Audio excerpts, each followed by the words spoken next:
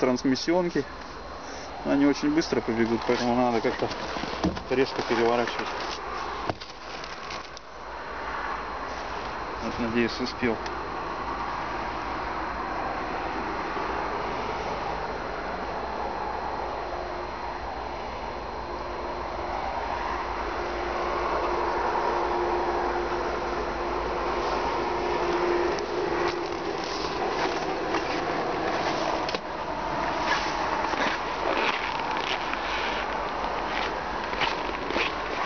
Температура воздуха, как я и говорил, детская, минус 23.